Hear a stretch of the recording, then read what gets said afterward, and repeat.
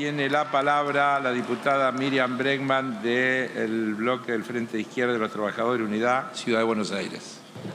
Gracias, señor presidente. Sencillamente vamos a manifestar el rechazo. Perdón, un poquito de silencio para escuchar a la diputada. Gracias, señor presidente.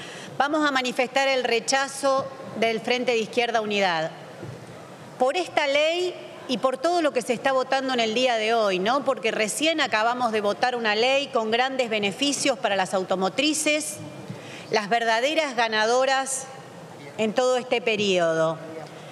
Y hablábamos recién con mis compañeros del Frente de Izquierda, qué bueno sería que de las tantas noticias que trascienden sobre este Congreso, trascendiera que acá se discuten estas cosas, que mientras se profundiza la crisis económica y social del país, acá estamos discutiendo que los dos grandes partidos que tanto hablan de la grieta se ponen de acuerdo a la hora de votar beneficios patronales y que todo eso sería muy bueno que el pueblo trabajador lo sepa. La verdad, acá se hicieron algunos discursos que pretenden ser épicos. Si quieren apoyar la enorme capacidad científico-tecnológica que tiene nuestro país, Deberíamos estar discutiendo, y para eso cuenten con nuestra presencia, vendremos gustosos y gustosas, más presupuesto para las universidades públicas, más presupuesto para el CONICET, más presupuesto para todo ese sistema público que tiene una enorme capacidad científico y tecnológica de la cual los privados se apropian. Piensen que en este país, gracias a ese desarrollo y a esa investigación pública, se llegaron a poner satélites en funcionamiento satélites en funcionamiento. Pero hay una discusión, no pueden acá hablar como que esta ley va a propender a eso mismo, porque el conocimiento científico se lo apropian un puñado de empresas para usarlo en función de sus ganancias. O nos olvidamos de la pandemia, o nos olvidamos como usando toda la capacidad de años y años de investigación unos pocos laboratorios desarrollaron la vacuna, algunos directamente con fondos del Estado en Argentina y en el mundo con fondos que ponían los estados y después llegábamos a situaciones tan paradójicas como las que se vivió en nuestro país, donde a 35 kilómetros en Garín se producían vacunas y acá la población moría por no contar con ellas. Entonces el desarrollo científico, hablar de la nano, de la tecno y todo lo que quieran, no es neutral.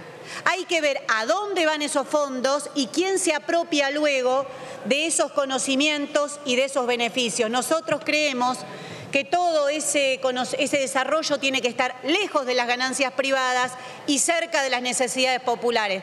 Por eso, señor presidente, somos profundamente anticapitalistas y por eso peleamos por el socialismo, para poder planificar la sociedad sobre otras bases y que no vuelva a pasar los hechos tan trágicos que ocurrieron durante esta pandemia o que enfermedades que tienen años y años no cuenten con una cura porque sencillamente no es ganancia para los laboratorios.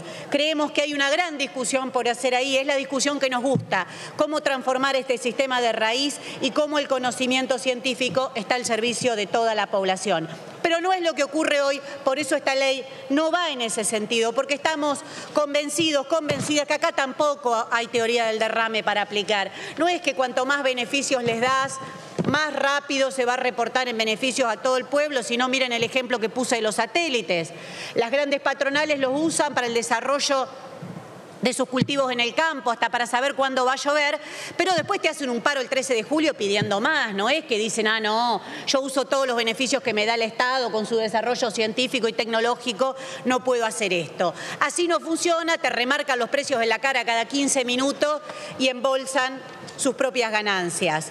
Mire, para dar un dato antes de terminar, Hoy votamos, como dije, otros beneficios a la industria automotriz, tenemos el plan gas para las petroleras, la economía del conocimiento que ha sido nombrada acá. ¿Saben cuánto dejó de recaudar el Estado gracias a esa ley que algunos hoy reivindican?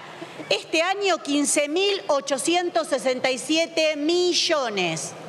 Eso, esa es la consecuencia de esa ley. La minería, la minería, otro gran negocio en la Argentina que además trae una gran destrucción para nuestro planeta.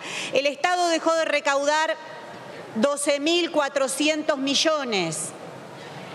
Los aportes patronales, usted sabe que cada vez que hay un reclamo de los trabajadores, las empresas aprovechan, las grandes alimenticias entre ellas, para ir al Ministerio de Trabajo y al Ministerio de Trabajo, ¿qué cosa se le ocurre? Se le ocurre bajar aportes patronales. Siempre, siempre que las empresas piden algo, lo que están dispuestos a entregar son los aportes patronales para desfinanciar el ANSES. Habría que hacer un cálculo de cuánto se están llevando las empresas con eso, ni que hablar históricamente a partir de de la rebaja que les hizo Caballo.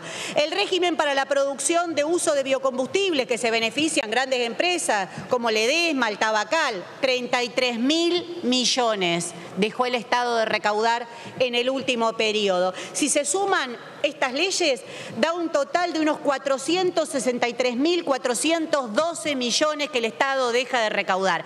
Por eso digo que me gustaría que todos estos datos trasciendan tener una capacidad como tienen otros para instalar en los medios grandes discusiones como que en la Argentina hay mucha presión fiscal.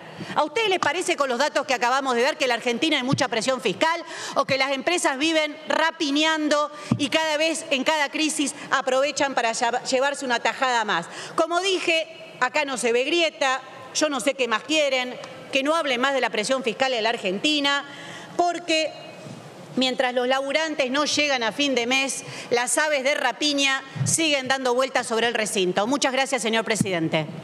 Gracias, diputada.